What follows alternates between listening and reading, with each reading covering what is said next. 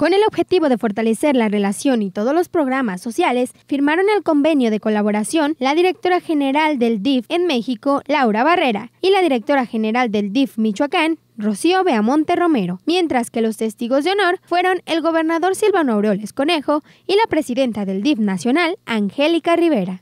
Pues ah, se atienden de manera permanente poco más de 300 personas. Hemos hecho un esfuerzo conjunto para mejorar las instalaciones, eh, poner a funcionar los equipos, que había varios ya muy deteriorados, todo buscando ofrecerles un servicio de calidad a los pacientes.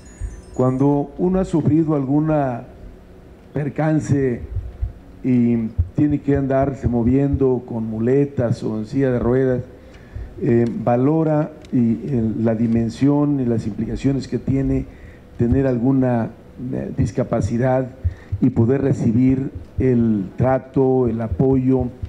Con la visita de la presidenta del sistema DIF nacional, Angélica Rivera de Peña, el mandatario estatal señaló que para la población con discapacidad es esencial contar con acceso a servicios de salud con los debidos cuidados y el seguimiento que requieren de acuerdo al tipo de discapacidad que presentan que convencidos, estamos, de manera particular yo lo estoy, que sumando esfuerzos, voluntades, se eh, le puede hacer frente a los retos que son muchos.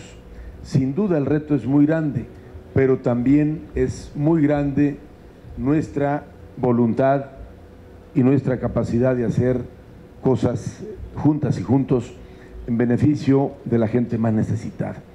Por su parte, Angélica Rivera de Peña informó sobre los centros de rehabilitación que hay en el país. Son, son más de 100 centros de rehabilitación integral y más de 1.400 unidades básicas de rehabilitación.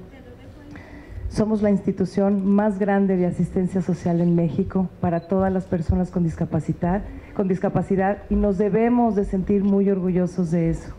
Brindamos millones de consultas y terapias de rehabilitación a toda la gente que lo necesita y eso significa millones, millones de vidas que estamos mejorando, que estamos ayudando y, y la verdad es que sí hay que decirlo con mucho orgullo. Desde el DIF nos sumamos al compromiso de mi esposo, el presidente de la República, de trabajar muy, muy fuerte para lograr el México incluyente que todos queremos.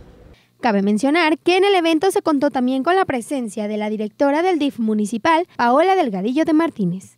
Con imágenes de Noé Plancarte, Milena Suástegui y Grupo Mármol Informa.